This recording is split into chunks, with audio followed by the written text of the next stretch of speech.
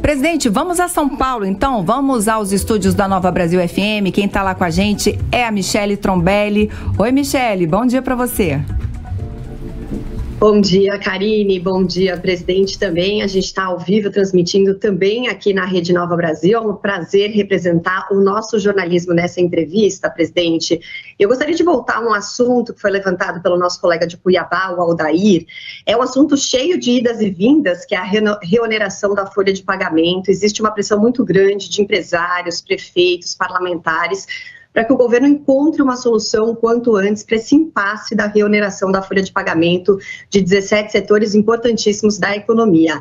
Qual seria, na sua visão, essa solução por parte da sua equipe econômica para que não afete tanto a, os empregos no país? E quais são os planos do governo, presidente, para reduzir despesas e se empenhar para cumprir as metas fiscais, não apenas pelo aumento da arrecadação?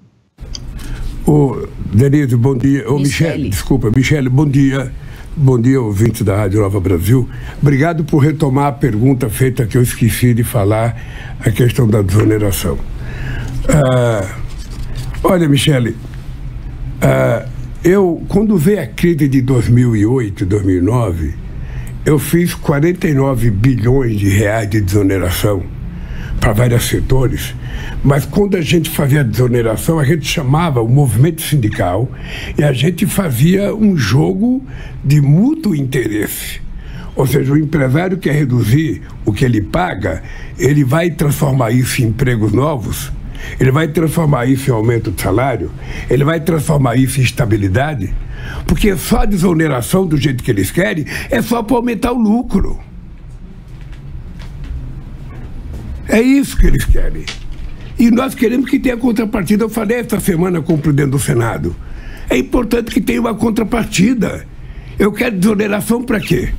Só para aumentar meu lucro? Eu quero desoneração para aumentar o salário dos trabalhadores? Eu quero desoneração para manter a estabilidade dos trabalhadores? Então, quando nós entramos na Suprema Corte para que a gente suspendesse a desoneração, o objetivo é sentar na mesa e negociar. E cada empresário diga o que, é que vai fazer.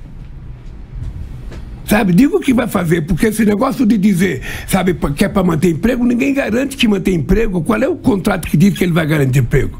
Quem é que diz que na primeira crise ele não manda o gente embora? Não tem nada escrito. Então o que nós queremos é apenas seriedade dos empresários.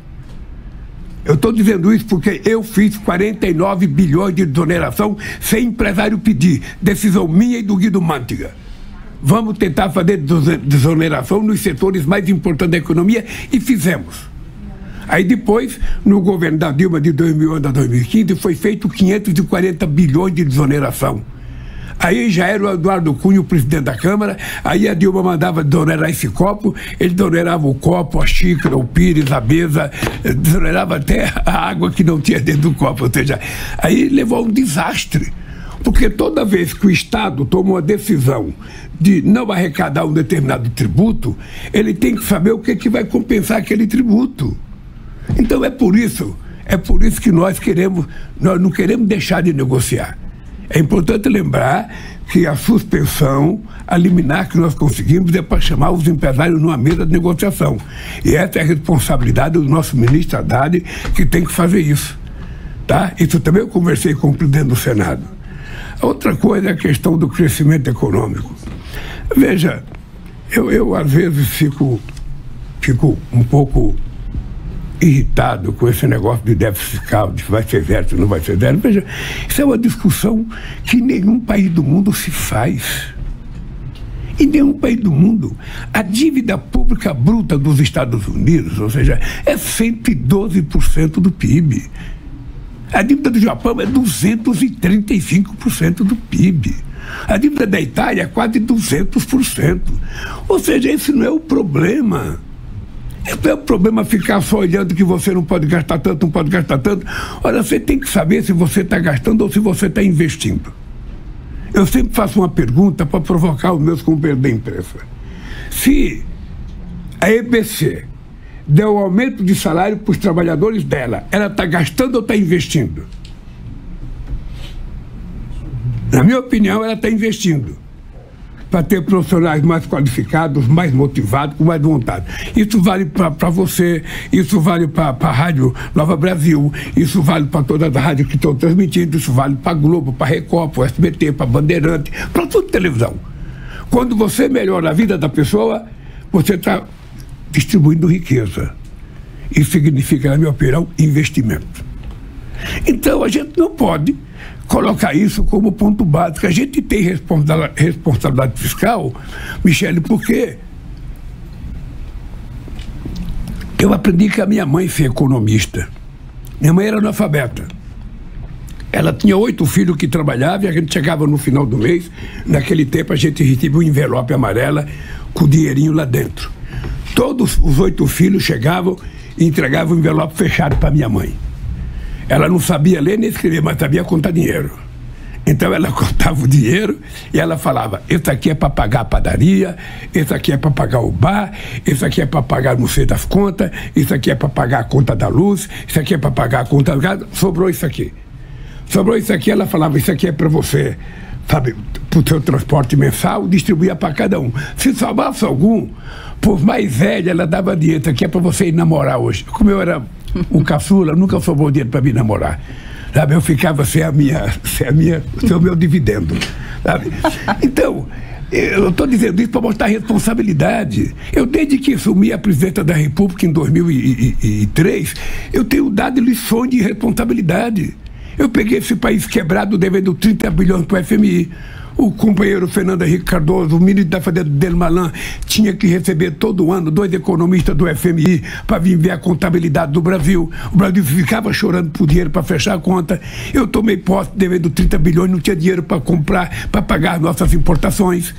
Eu paguei 30 bilhões para o FMI, depois emprestei 15 bilhões para o FMI e depois fizemos uma reserva de 370 bilhões de dólares. Então ninguém me fala em responsabilidade, porque essa eu tenho demais. Ninguém me fala, eu tenho responsabilidade porque foi assim que eu fui criado, assim eu criei meus filhos e assim eu quero governar o Brasil. Quero cuidar desse país, tendo responsabilidade. Eu não vou gastar nunca mais do que o que eu preciso gastar.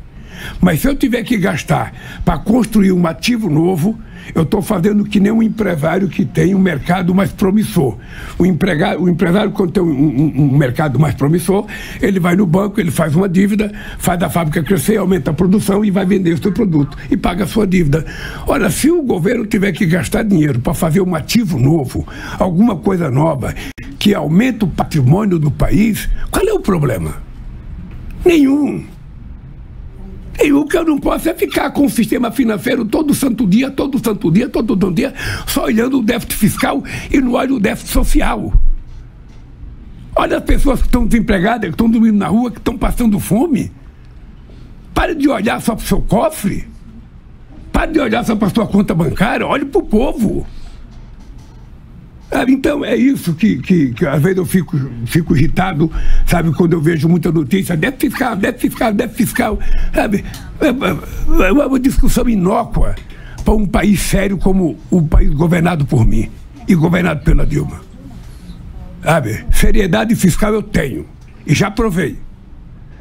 Eu peguei esse país falido em 2003 e entreguei esse país à sexta economia do mundo. Pegamos ele à décima segunda se Deus quiser, vamos devolvê-la para a sexta ou sexta economia do mundo. As coisas estão acontecendo. A, a, a, a nossa companheira Karine perguntou agora como é que está a colheita. Eu, na verdade, quero convidar vocês para participar dessa colheita. Sabe? Quero que vocês acompanhem mensalmente ou cada três meses. O Pimenta pode vir aqui com o ministro para prestar conta de cada coisa. Se tem uma coisa, ah, o Rio Costa presta conta do PAC, porque o PAC tem 1 trilhão e 700 bilhões de investimento. 1 trilhão e 700 bilhões de investimento entre governo federal, sabe, iniciativa privada e financiamento. Então nós vamos fazer esse país acontecer. Pode estar certo que você vai viver num país melhor, mais bem cuidado, mais bem tratado e mais feliz. Aonde Sabe, como diz a música gaúcha, acho música chamada Céu Sol Sul, onde tudo que se planta dá e só o amor floresce. É esse país que eu quero construir. Essa música é do Leonardo do Rio Grande do Sul, chamada Céu Sol Sul.